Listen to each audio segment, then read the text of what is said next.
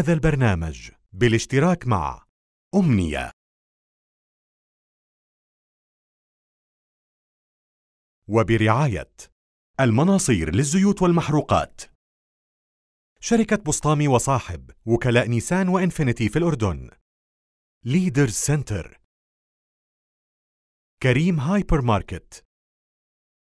منصة أبواب التعليمية. يا أهلا وسهلا عن جديد. تحياتي لكل اللي ما زالوا بيتابعونا عبر برنامج جوك. أول برنامج طقسي شبابي متخصص بالطقس بالوطن العربي. فيش داعي أعرف المعروف لا يعرف حلو وهاي. الطلة اللي مستناها أنا كنت زمان آه، يعني آه، أحط لما يجي الشتاء أحط أحط صورة محمد الشاكر وأكتب اشتقنا لك يا حبيب الملايين اشتقنا لك يا حبيب الملايين حبيبي اسامه أهلا وسهلا فيك نورت حبيبي محمد. وأنا سعيد جدا إني أنا يسعدك. بطلع معك بالعكس أهلا وسهلا فيك يسعدك يعني مشاهدينا الأعزاء رحبوا معي بالمدير لازم أعرف عليك طيب. طيب. بهاي بهذا البوزيشن المدير التنفيذي لموقع طقس العرب في الأردن محمد الشاكر محمد لا تقول لي صباح الخير ولا تقول لي مقدمات ولا تقول لي قصص شو قصة الثلج يوم الجمعة القادم آه صباح الخير بس مضطر أقول لك صباح لك الخير إياها. عشان الواحد باخذ نفس يفكر آه, آه. بالضبط 100% آه طبعا آه، أول شيء الحمد لله صراحة على إنه إحنا بعد 15 واحد مش ملحقين منخفضات. فسبحان الله كنا في وضع جوي كان جفاف لمنخفضات جوية الحقيقة آخر نماذج التنبؤات الحاسوبية وهلأ شوي شوي راح أشرح لك أسامة شو التغييرات اللي بتصير. بس بشكل عام في منخفض جوي جديد متوقع نهاية هذا الأسبوع. زميلي أسامة الطريفي وكادر التنبؤات بيحبوا يسموها بطريقة إنه في رياح قطبية بتقترب من من المملكة تمام. مجددا. هذا المنخفض الجوي هو من الدرجة الثانية حاليا مصنف ولكنه قابل للتطور هو تحت المراقبة الحكيمه هذا الحكي اللي بحب أسمعه. تمام. حلو.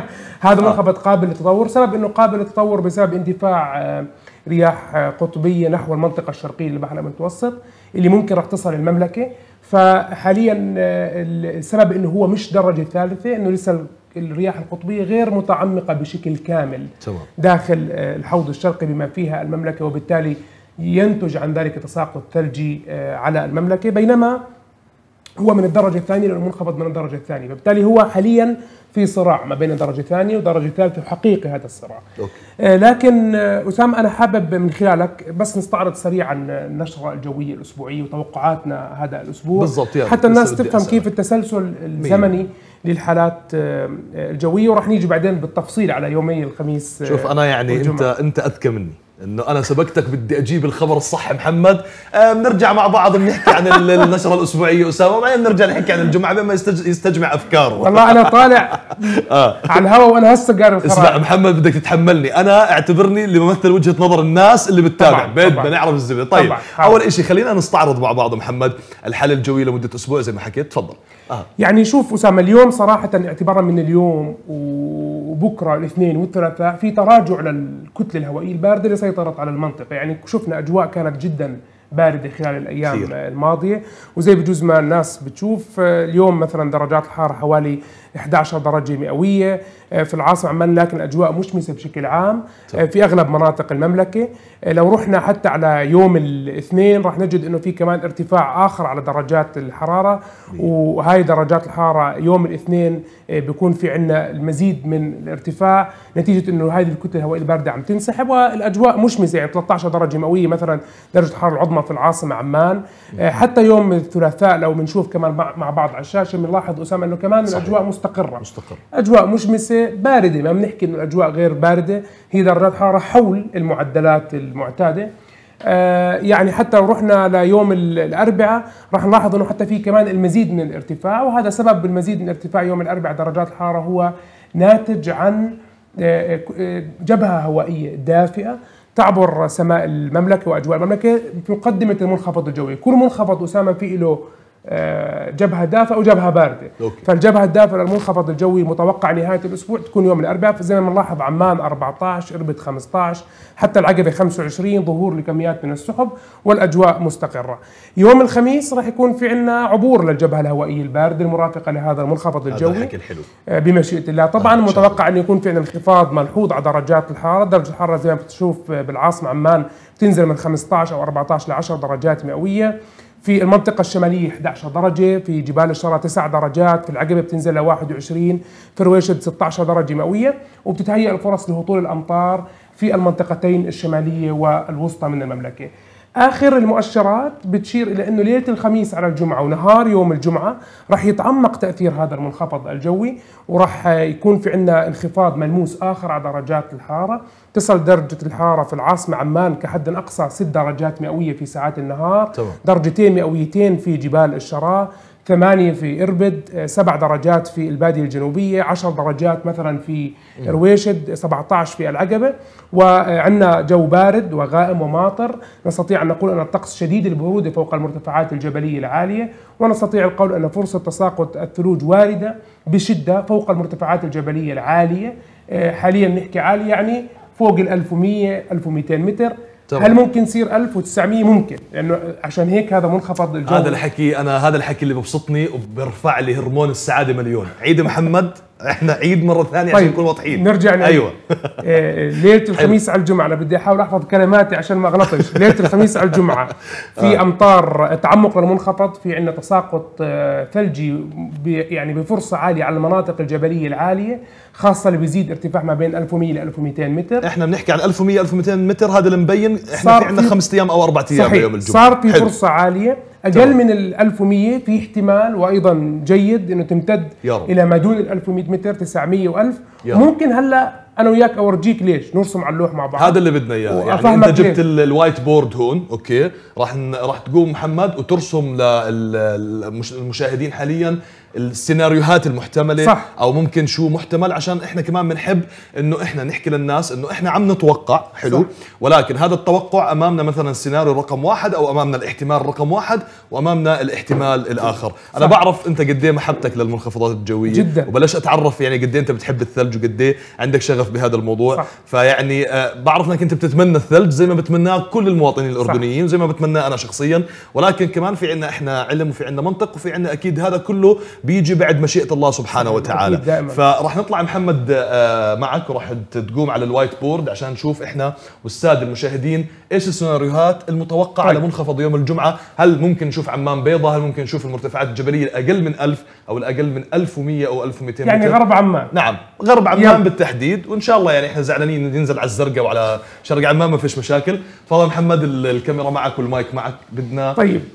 نعرف ال- ال- الأشياء أو السيناريوهات المحتملة. محمد معنا سريعا نعم. يعني آه، أنا حرسم طبعا رسم سريع فما تمام. يعني آه، ما تحسبوا لي على الحدود بالضبط أنا قاعد عم برسم فقط خريطة مية. آه، جغرافية هذه هاي البحر الأسود هي اليونان تمام هي إيطاليا ما تحسبوني بالضبط على الحدود هي مش مشكلة إسبانيا بس إحنا بدنا شيء تقريبي عشان نقدر آه، مية بالمية. توصل لنا الصورة يعني تمام هي الجزيرة العربية تمام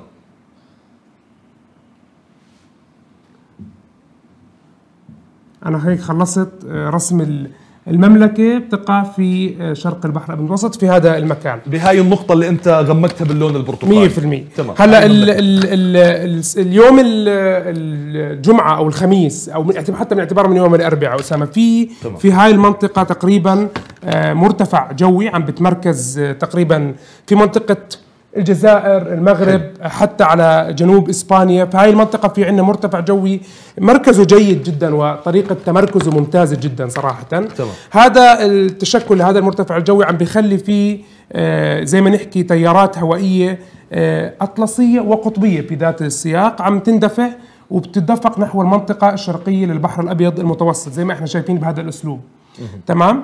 هلأ آه، سبب التغييرات اللي بتصير أحيانا إنه ليش مثلا آه، يكون في عندنا ثلج على 900 أو ثلج على 1100 مثلا الهواء البارد لو كان ماشي في هذا المسار ودخل المملكة بيكون مثلا الثلج على ارتفاع 1000 متر على سطح البحر. لو هذا ال- الخط نزل أكثر للجنوب صار تحت هذا الخط مثلا بيكون على ارتفاع 900 متر وهكذا. فهذا هو تدرج الهواء البارد اللي بيصير. ليش بيصير في تغييرات؟ لأنه آه، النماذج العددية اللي بتستشعر الحركة هاي الكتل الهوائية. دائما بيكون ثقتها منخفضة أو قدرتها منخفضة في المنطقة اللي راح أرسمها هلأ باللون الأخضر. هاي المنطقة هي تقريبا منطقة الجزر البريطانية وفرنسا. هاي المنطقة تقريبا. تمام. هاي المنطقة تق... نقدر نحكي إنها مناطق آه، آه، كثيرة التغير بشكل كثير كبير. دائما في تغييرات والنماذج العددية اللي بتلقط حركة الكتل بتكون متغيرة يعني ما بتكون ثابتة. فبصير كل تحديث عم بينزل من هالخرائط مختلف. طب شو تاثيره عندنا؟ إذا المرتفع الجوي هذا طلع أكثر نحو الشمال في هاي المنطقة وكان فعلا اشتغل كحاجز ضد آه، الرياح القطبية اللي راح يصير إنه هذا الخط على سبيل المثال بيطلع حوالين هذا المرتفع ونزوله بيصير أعمق للجنوب فبالتالي بيصير فهو بارد أكثر تدفقا للجنوب. على الجانب الآخر لو هذا المرتفع الجوي نزل لتحت بسبب إنه في عندنا تيارات أطلسية قوية أو دفعت هذا المرتفع أكثر لتحت اللي بت اللي بيصير في هاي الحالة إنه ال ال الهواء البارد ما بتموج بالتالي بضل دغري ماشي. نعم. بصير آه على شكل تيارات أفقية وما بينزل لتحت فبصير يكون عندنا الهواء البارد محشور في طبقات الجو العليا. فاللي عم بيصير حاليا معنا إنه إحنا عم نراقب تحديدا يعني عين معظم المتنبئين وهواة الطقس تقع على هاي المنطقة. عم نشوف إذا المرتفع طلع معناته منخفض نزل بقوة. الج الجيد والسيء في هذا الموضوع إنه هذه المنطقة غير ثابتة. يعني هاي منطقة نشاط أطلسي جدا كبير، فبالتالي كل تحديث هذا ال هذا ال هاي المنطقة عم تتغير وبتأثر مباشرة على شرق البحر الأبيض المتوسط، لكن اللي تقريبا ثابت إنه المرتفع متمركز في منطقة جيدة جدا وطريقة آه، تحرك الهواء البارد. يعني تضمن على الأقل مناطق المرتفعات الجبلية العالية على أقل تقدير إنها يوصلها تساقط ثلجي. 100% طبعا هذا محمد كمان بيفسر آه، يعني خلينا نحكي ال- ال- ال- التخبط اللي بالنماذج حاليا ممكن نقدر نحكي يعني إحنا بنحكي عن ال- ال- النموذج الأمريكي آه، امبارح كان كان معطي مؤشرات جيدة لدرجة إنه التطبيقات اللي خاصة بالطقس آه، على. التليفونات بشكل عام أعطت إنه في ثلوج على العاصمة الأردنية صحيح. عمان بس يمكن خلينا نحكي اليوم التحديثات تختلف يمكن التحديثات تروح للأسوأ مثلا صحيح. أو التحديثات تروح للأحسن فهذا اللي عم نحكي فيه هذا اللي عم بسبب الإشاعات محمد صح. يعني أتوقع ملخص الحكي اللي إحنا ممكن نقدر نحكيه إنه ما زال الموضوع تحت المراقبة ما زال ما زلنا بانتظار إنه المرتفع بعرفش إذا صح التعبير يتغول أكثر صح. للأعلى الشمال. عشان صح. المنخفض ما يسحب البرودة صح. والبرودة كلها تن- تنزلق صحيح. عنا مع التيارات الأطلسية يعني أسامة أنا بس استكمالا لكلامك بدي تمام. أرجع أرسم سريعا آه ال- اللي بيصير بين النماذج الجوية العددية واللي بتكون هي عبارة عن فروقات آه، يعني ما بين ما بين بعضهم البعض. وهذا طبعا بيخلق برضه الفروقات في التوقعات بين التطبيقات المختلفة صحيح. واللي موجودة على هواتفنا الذكية. أنا رجعت رسمت مرة ثانية آه بعض خريطة سريعة جدا ما سامحوني على الحدود. آه النماذج الجوية العدديه هي لها أنواع لها طرق حسابية في كيفية استشعار تحركات المرتفعات والمنخفضات. فلو بدي أرسم خط الثلج على عمان على سبيل المثال كل نموذج جوي ممكن يشوفه مختلف. حسب ذاكرتي انه خلال تقريبا آه، ال 24 ساعة الماضية التحديثات كان عندنا أحد النماذج العددية تضع غرب العاصمة عمان ضمن نطاق الثلج. آه، نموذج جوي آخر عددي آه، أيضا آه، كان يضع بهذا الأسلوب بعيد عن العاصمة عمان. في نموذج عددي آخر ثالث كان آه، يضع ال- الخط بهذا الشكل. تمام؟ وبالتالي كل شرق المتوسط ضمن تساقط الثلج على ارتفاعات متوسطة. فكمان في عندنا نماذج أخرى عم تضعه ب- بهذا الشكل تقريبا. فعندنا. هذه بالآخر تترجم إلى سيناريوهات مختلفة. كل ما زادت أعداد السيناريوهات تزداد الاحتمالية لسيناريو معين أغلب السيناريوهات تتجه إلى أن آه، حاليا المتوسط خلينا نحكي قبل ما نحكي الأغلب المتوسط نتكلم عن 1000 ل 1100 متر تمام. لكن عدد السيناريوهات ما زال عم بيكون في تزايد إنه يكون في أكثر تبريد.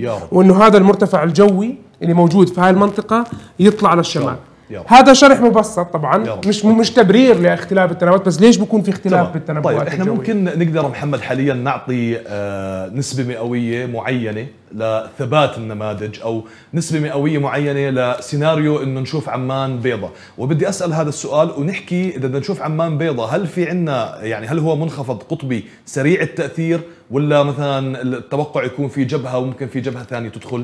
بدنا احتمالية وبدنا نعرف شو السيناريو اللي أنت بت ممكن تحس إنه هو الأقرب لأنه يكون على أرض الواقع بعد مشيئة الله سبحانه وتعالى أكيد. بإذن الله. بدي آه. أبلش معك من سؤالك الثاني. أوكي. دائما تقريبا أو خلينا نحكي بصورة مناخية وجود المرتفع الجوي بهذا المكان في عندنا أكثر من مكان ليتشكل مرتفع ليندفع هواء قطبي على المملكة، في عندنا مرتفع عند جهة إسبانيا، في مرتفع في وسط أوروبا، في مرتفع في شمال أوروبا، هذه المواقع تقريبا هي اللي بتسبب تدفق الهواء القطبي للمملكة. لكن في هذه الحالة المرتفع لما يكون متمركز بجهات آه، إسبانيا بتكون التيارات سريعة لأنها في جزء منها أطلسي سريعة جدا. فبالتالي الجبهات تكون على شكل جبهة ثلجية. مثال على ذلك 19 1 2019 16 1 2019 جاءت جبهة ثلجية تراكمت ثلوج 10 15 20 سم في غرب عمان ثاني يوم ما كان في شيء. ما كان. لا يعني إنه ذلك حيكون بالضبط السيناريو ولكن نعم. مركز هذا المرتفع ليس إلى الشمال بشكل كبير مما يجعل إنه ال- ال- المنخفض أو آه، الموجة بشكل عام القطبية أو الجبهة القطبية سريعة جدا. سريعة. لا تستطيع أن آه، آه، يعني أن تنفصل عن الجبهة الأم. هناك بعض السيناريوهات لما المرتفع يتعمق جدا للشمال يقطع الهواء القطبي الإمداد بصير في قطع بنسميه قطع قطبي مثل أليكسا نعم. واستمرت بالدوران فوق المملكة ليومين وثلاثة صحيح. هذا مستبعد في هذا السيناريو حاليا في الوضع الحالي ولكن ما هو واضح بأنه لدينا جبهة سريعة منخفض جوي سريع لكنه فعال يكون عالي الفعالية وهو مت- متأرجح بين ثانية وثالثة. والعاصمه عمان تحديدا غربية العاصمه عمان هذه المرة متأرجحة بفرصه الثلج آه، أفضل طبعا من المنخفضات الماضية. وأي حركة هون؟ الوضع جدا حساس. أي حركة في المرتفع للشمال نحكي عن تحسن جدا كبير. أي انسحاب للمرتفع وعدم استشعار صحيح للنماذج العدديه للأسوأ. وهذا كله ببين خلال يومين يعني مش الموضوع إنه لقبل بليله لا خلال يومين بكون عندنا وضوح تقريبا. هلا المرتفع آه، آه، انسحب للجنوب وبالتالي التيارات الأطلسية تص- تصبح سريعة جدا أو غربية بشكل يمنع نزول الهواء البارد إلى مناطقنا؟ يا رب خير إن شاء الله. أنت ما جاوبتنيش على السؤال تبع الاحتمالية. آه احتمالي لا بجاوبك حاولت أنفذ منه بس ما عرفتش. ما, ما تقدر تنفذ مني محمد. لا أنا بدي أقول لك كاحتمالية بجوز بدي أفكر فيها هيك بشكل سريع. آه، لو بدي أعطي احتمالية لغرب العاصمة عمان بقدر أقول إنه الاحتمالية حاليا 40 ل 50% فقط 40 ل 50% آه هذه هذه الاحتمالية مرشحة للارتفاع. آه المناطق العالية الاحتمالية تتجاوز ال 70% طبعا بمشيئة الله مرة ثانية المنطقة هذه منطقة جدا حرجة في نماذج عددية واستشعارها لا يكون سهل. يكون هناك تغيرات جذرية وهذه التغيرات مباشرة بتأثر على منطقتنا أحيانا أسامة في حالات إحنا شاهدناها في السابق كانت النماذج تضع منخفضات قطبية متكاملة على شرق المتوسط من بنفس هذا النمط وفي يوم اختفى. في ضوء في في ضوء قمر بالليل صحينا على النماذج لقينا المرتفع متراجع جبهة قطبية قوية جدا تعبر غرب أوروبا كل الهواء انسحب للأعلى واختفت من الخرائط. لكن نتأمل خير مش ان شاء الله. مش بهاي هذا إن بالضبط. شاء الله هذا الحكي اللي بدي أنا احكي من خلاله للمشاهدين اللي عم بتابعونا لكل الناس اللي بنساقوا وراء الإشاعات. عم بشوف ناس للأسف يعني آه انتظروا المفاجأة عاصفة قادمة وما بنتعلم مشكلتنا. وأنا عم بشوف كمان محمد على هاي الصفحات إحنا بنحترم كل الهواة بنحترم كل الناس اللي بالمجال الطقسي. ولكن برضه بنحب إنه باقي الناس الهواة أو اللي الناس اللي بتعطي معلومة طقسية يعني على مواقع التواصل الاجتماعي إنها شوي برضه تكون فاهم إنه ال- ال- الموضوع هذا بالنسبة للناس موضوع حساس كثير موضوع ماخذ اهتمام الناس بشكل كبير فأنت لما تعشم الناس وتعطي إنه والله في عاصفة ولا في ثلوج قادمة صح. على احتمالية 40 50% لثبات النماذج محمد هذا الشيء أنا أتوقع إنه آه، مغامرة صح. نوعا ما ومغامرة بنحاول إنه نبعد عنها ويعني بنحاول إنه آه، زي ما شفنا بطقس العرب قدر الإمكان قدر الإمكان وضحنا الصورة حاليا للناس صح. إنه متوقع يكون في عندنا ممكن أعطيها الخلاصة بطريقتي أنا متوقع يكون عندنا آه، ثلوج ولكن احتمالية تراكم هاي الثلوج احتمالية تدني هطول هاي الثلوج ل 1900 و800 و700 ما زالت بتطور ال 30 40 50% بأحسن حالاتها يومين لقدام النماذج بتستشعر بشكل أحسن. وبشكل أدق هذا اللي بدنا. نحكيه ان للناس شاء الله يا رب آه يا رب. بس تعقيبا على تعليق على كلامك يعني آه بشكل عام آه أنا بستمتع دائما في أي شيء دخل في علوم الطقس بقرأ معظم هواة الطقس في الأردن طبعا. وخاصة في هيك مجموعة شباب تكتب بطريقة علمية وأنا دائما الإنسان يعني علمه ما ب- ما بينتهي بتعلم من الناس وبتعلم من كل هواة الطقس آه ومن الأخصائيين كمان سواء في إدارة الأرصاد أو متقاعدين أو غيرهم زي ما حكينا سابقا إحنا هدفنا الأساسي إنه نوصل معلومة صحيحة. ومن خلالك أسامة إحنا كثير حبينا هذا البرنامج وفكرته حبيبي. من خلالك لأنه راح نقدر نبلش نوصل المعلومة بطريقة جديدة وليش بيكون في تغييرات صحيح. ولما بيكون في أي أخطاء أو إيجابيات أو رح نحكي عنها رح محمد إن شاء الله 100% إن شاء الله وإحنا بدنا نذكر دائما كمان نذكر إحنا ضمن آه، علم ببدايته أو في كلمة. دائما رئيسية هو علم التوقعات صح. يعني عم نحكي عن آه، شيء آه، مع- معتمد على models معتمد على نماذج عددية موجودة بأكثر من نوعية إحنا في data عندنا بنقرا ال data وعلى اساسه اساسه بنعطيكم النشره الجويه المحتمله صح. إحنا بجوز بالمنطقة العربية والدول العربية لم نملك هاي التطور هذا التطور الكبير بهاي الأجهزة صح. اللي يعطينا التوقع أقول لك أنا والله متوقع 100% أي توقع دائما في النشرات بنحط هذا والله أعلم صح. فدائما الله أع... الله أعلم وأعلى صح. فإحنا ما بنعرف إحنا صح. عم نحكي عن علم متغير عن معطيات متغيرة عن data متغيرة فهاي كمان بدي أوصلها للناس إنه الناس تقول لك آه، نشرتكم غلط والله أنا قاعد ببيتي ما ثلجت وأنت قلت لي مرتفعات راح تثلج كل واحد بده ايانا نثلج على باب بيته. ما بلوم الناس انه الناس مت... تحب عندها شغف ومتشوقة لموضوع الثلوج. ولكن إحنا دائما نعرف إنه إحنا المعلومة الجوية حتى باكبر البلدان. أنا يعني قرأت إنه هو بعطي التوقع وبعطي بي والمواطن فاهم إنه هذا التوقع صح.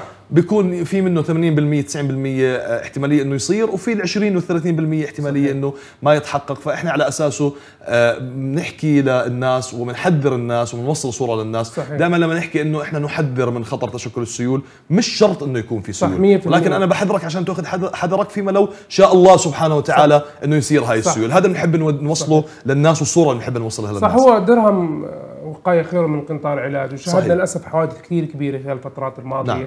بس الوعي بالمجال الارصاد رائع. أنا جدا سعيد وفخور بالناس إنه صار في وعي كثير كبير في مجال الأرصاد الجوية.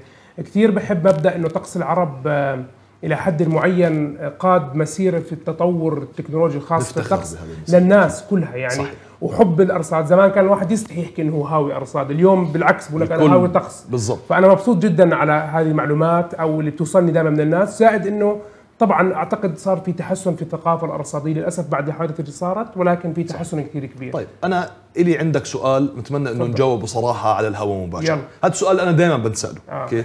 بقول لك محمد الشاكر أيام زمان كان يطلع قبل آه 8 9 أيام يقول في ثلج جاي على الأردن حلو؟ آه هاي الثلجه بعد تسعة أيام فعلا تيجي زي ما حكى وزي ما توقع. ليه هلا صرتوا تقللوا المدة؟ ليه هلا صرنا نحكي عن قبل يومين ثلاثة ونحكي عن دقة؟ مع إنه زمان قبل تسعة عشر سنين محمد كنا نتابعك على مواقع ال ال الإعلامية أو على الأماكن الإعلامية. يطلع محمد يقول إحنا أمامنا إن شاء الله بالأسبوع القادم منخفض راح يأثر. ويكون أيضا في تحديد ارتفاعات. شو اللي صار مع أبو الشاكر؟ لا لا ما صار شيء معي. ما صار. بدنا مع مين صار الشيء آه. سببين. شوف آه. صحيح أنت اللي بتحكي. أنا قاعد عم بتذكر. السبب الأول آه الأساسي صراحة من تقريبا ستة وسبع أو حتى ثمان سنوات. حتى من قبل آه بجوز من أيام عاصفه هدى وجنى. ما اجى على الخرائط منخفض جوي. إحنا بنسميه كمتنبئين. مهما ضعف بيجي ثلج. أها تمام؟ تمام. يعني إحنا ما وصلنا لهي المرحلة. يعني حلو. للأسف إنه آه، إحنا منخفضات كلها اللي عم تيجي عم تيجي على الحفة. صحيح. تمام؟ ومشكلتنا لما نحكي نحكي عن الحفة يعني كل ما بتتراجع ولا هي بتصير مطر. بتصير مطر. قبل سبع أو ثمان سنوات هاي انماط جوي تتكرر بتلاقي منخفض ثلج على البحر الميت بضعف بصفي على عمان فأنت خلص مهما آه حكيت أمورك هيك. تمام. أمورك 100% السبب الثاني صراحة آه، أسامة هو في مسؤولية. يعني إحنا بنشعر الآن بسبب بجزء الوصول كثير أكبر ملايين. يعني نحكي عن أحيانا بوصل عدد الناس اللي بتتابعك 7 و8 مليون في داخل المملكة. صح. إنه أنت لما بتحكي هالمعلومة بتأثر على كل الأعمال صح. سواء بنحكي على مدارس على زراعة على حكومات على آه، أعمال. وتعرضنا لبعض المشاكل إنه إحنا لما حكينا ووقفت البلد وبعدين ما إجت ثلج كانت مسؤولية كثير كبيرة. فبالتالي هلأ عم نحاول نعطي المعلومة الجوية. المفيده الدقيقه في وقتها لو شفنا اليوم وإن شاء الله نشوف إنه في منخفض بعد 10 أيام مهما ضعف حيكون ثلج على عمان حتلاقينا نطلع نحكي إنه في ثلج بعد 10 أيام أوكي. بس لليوم ما إجانا هذا المنخفض اللي عم نشوفه على الخرائط إنه مهما ضعف بنحكي سيدي عنه. ليس المهم أن تكون الأول ولكن المهم أن تكون على صواب صح هاي صح أول قاعدة تعلمناها بالصحافة والإعلام صحيح. مش صح إنك دائما تجيب الخبر الحصري ولا صح إنك دائما تجيب السكوب إنه يلا والله تعال عشان أنا طقس العرب إنه في ثلج وأقلب الدنيا وأعمل قضية صحيح. رأي عام واشغل الناس لا مهمني أكون على صواب وهذا اللي بحكيه دائما إنه تاخرتوا وينكم يا كل الناس تحكي ثلج أنتم ليه ما حكيتوا صح. أنا ما بحكي لأنه أنا في عندي ملايين عم بتتابعني صح. واجهزه الدولة كلها قائمة على المعلومة الجوية اللي أنا ممكن عم بعطيها صحيح. عشان استعداداتها و... و... وإلى آخره فهذا اللي بحتم علي أنا حتى لو كنت عارف المعلومة الصحيحة قبل بيومين ولكن ممكن أستنى يومين عشان صح. أتأكد إنها صحيحة ب 100% ولا تسبب ارباك للناس بالعكس اعطى الشيء الصحيح يعني.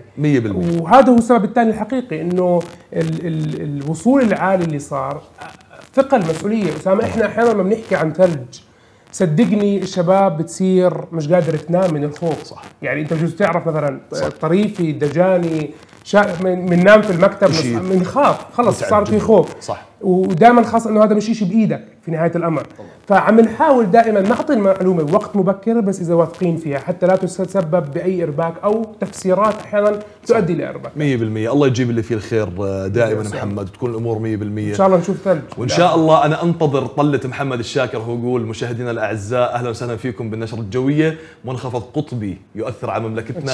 ثلوج متراكمة على 800 وفوق. أتمنى يا إن رب. شاء الله أو 700 الز- والزرقاء أهم أو شيء في أغلب مناطق المملكة. أو في هاي مهمة. أنا آه. أصحابي بالزرقاء آه. بيحكوا لي ما بتحكي في أغلب مناطق المملكة خلص, خلص، إحنا نعرف. بالنسبة لنا بكرة ثلج يا رب. الله يجيب لنا رب. فيه الخير نتمنى راح نضل معكم مشاهدينا الاعزاء اولا بأول بالمعلومات الجوية وبالمعلومات الطقسية. آه، خليكم متابعين طقس العرب دائما أول بأول. يعني آه، ومع طقس العرب دائما أول بأول. الله يجيب اللي فيه الخير علينا وعليكم دائما. راح نطلع على فاصل ونرجع عشان نختم معاكم. خليكم معنا.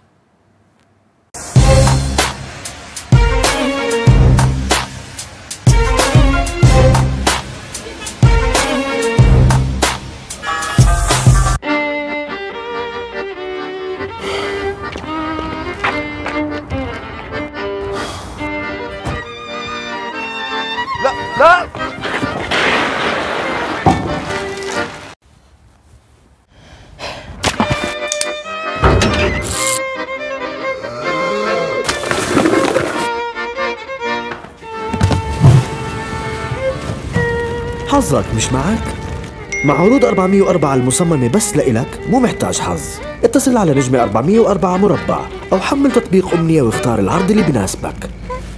أمنية انتمي. هذا البرنامج بالاشتراك مع أمنية. وبرعاية المناصير للزيوت والمحروقات. شركة بسطامي وصاحب وكلاء نيسان وإنفينيتي في الأردن. ليدرز سنتر كريم هايبر ماركت. منصة أبواب التعليمية.